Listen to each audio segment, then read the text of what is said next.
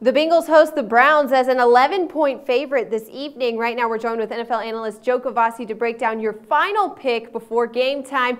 Joe, Cincinnati is a favorite of seven and a half points more than they have ever been this season. Seems like a lot of hype behind this Bengals team, but then again, I really don't want to underestimate a team that is yet to lose against the spread this season. Where's the smart money being played in this game, Joe? Don't know where the smart money is being played, but our money is being played on the Cleveland Browns. And it is yet another in a long line of contrary selections that have done so very well for us this year.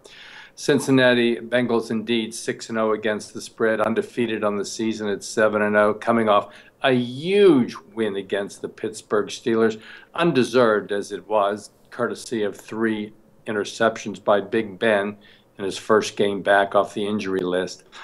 Bengals in that game were actually handled at the point of scrimmage by the Steelers and handily outgained as well. Nonetheless, they stormed back for a win in the final three minutes and now have a four game division lead over the Pittsburgh Steelers as they approach the halfway point. Does that make them a little fat for this game just five days later? You bet it does.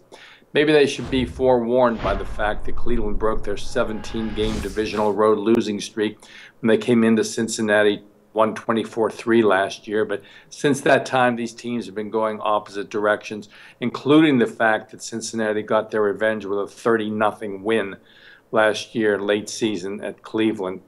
Cleveland Browns playing terribly the last two games, and now their quarterback has injuries which are forcing Johnny Turnover Manziel into the lineup, and our money may well rest with his turnover margin.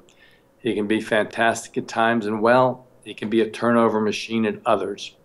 We'll take our shot, though, with Cleveland in this division rivalry as a double digit dog. Hope for the best. Manziel at the quarterback slot. All right, so we're taking the Browns here on the official pick, but how many points are you expecting to see on the board this evening? The line for the total is 40. 45 and a half uh, for this matchup. Would you play the total in this game? I think this is directly in correlation with how many turnovers Johnny Manziel has. All right, so no official pick then on the total.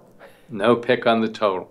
All right, NFL analyst Joe Gavazzi, thanks for being back with us and for the final pick.